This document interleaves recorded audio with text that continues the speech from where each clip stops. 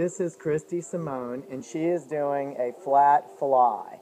Notice that this particular video is going to be for the at-home exerciser. So you can do this flat on the floor, you can do this on a bench, or you can do this on a regular flat bench. This is flat bench flies. If you do it on the floor, you are going to have a little bit shorter range of motion. In this case, she's got a good stretch just on a regular step bench, or you can do this on a regular flat bench that you would have at home. This works your chest or your pecs.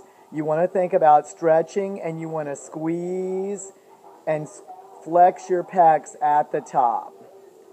Christy has maintained 100 pounds of weight loss. Go, Christy.